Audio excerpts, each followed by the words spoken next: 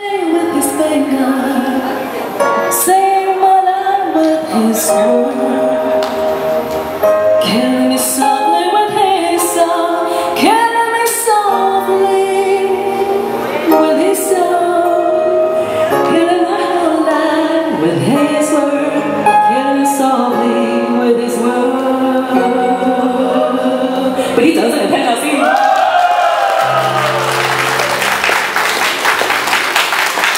so